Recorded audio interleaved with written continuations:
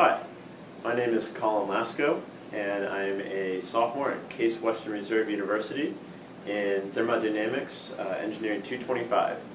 And today I'm going to be uh, showing you guys the difference between laminar versus turbulent flow uh, by using a kitchen faucet. So before I display the demo, I would like to just discuss a few quick topics um, and define laminar flow and turbulent flow. Uh, laminar flow uh, basically involves a smooth streamline um, and highly ordered molecules, which you'll be able to see in a moment.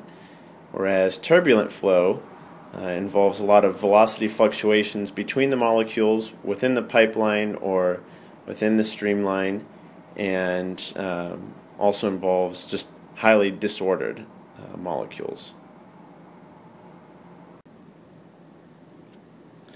Now, in order to determine whether something is going to be laminar or turbulent, uh, we can use a tool called the Reynolds number. And the Reynolds number, uh, noted by RE, is a function of the density of the liquid times the velocity of the liquid times the diameter of the pipe divided by the dynamic viscosity. And when we plug all those numbers in, if the value is below 2300, roughly 2300, we usually say it's laminar flow. If it's between roughly 2300 and 10,000, then it's in transition. And if it's greater than 10,000, then it's turbulent flow. So what we've got is our kitchen faucet. And now I'm going to turn it on very lightly.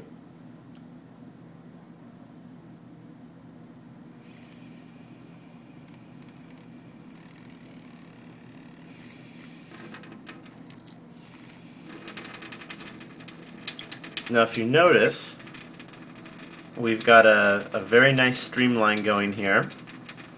Um, the water appears to be pretty straight um, and it doesn't appear to be bumpy or doing anything funny looking. Um, it's just a nice straight streamline which means the uh, molecules are highly ordered. Um, now if we increase the uh, velocity of the water and you can see it starts to get a little choppy